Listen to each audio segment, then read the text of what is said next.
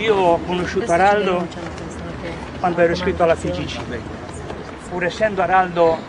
non della FIGC, naturalmente del partito, però ricordo che, ricordo che molte volte ci ha tenuto delle, delle riunioni. Poi ho conosciuto ancora meglio Araldo quando nel 58 sono entrato nei cantieri navali.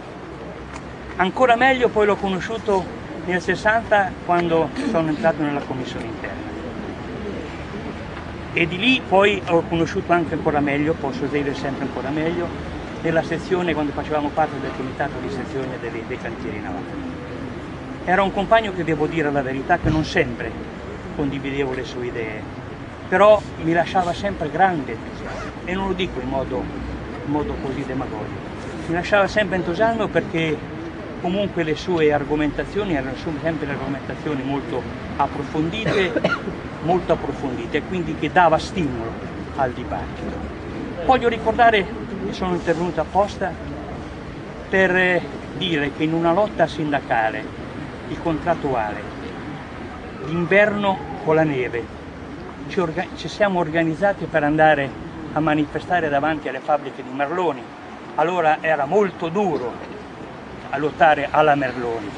E ricordo che lui, pur essendo molto più anziano di me allora,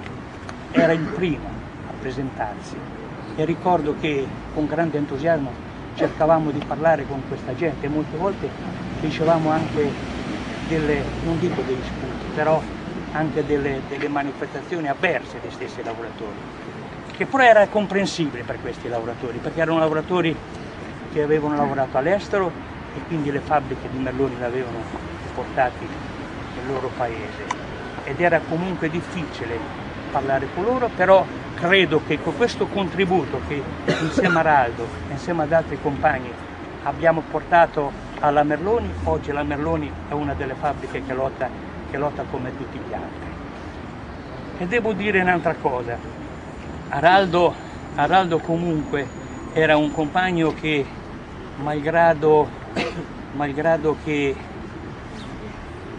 volevo dire malgrado che aveva, aveva, combattuto, aveva combattuto molto era sempre un compagno attaccato era sempre un compagno veramente senza far demagogia un compagno che era sempre davanti, davanti alla, alla, fabbrica quando, quando si scioperava era uno di quelli che comunque cercava di portare sempre il suo contributo parlando con quelli più avversi alla lotta. Ecco, io ho voluto ricordare queste cose perché, eh, perché Araldo veramente è stato un grande.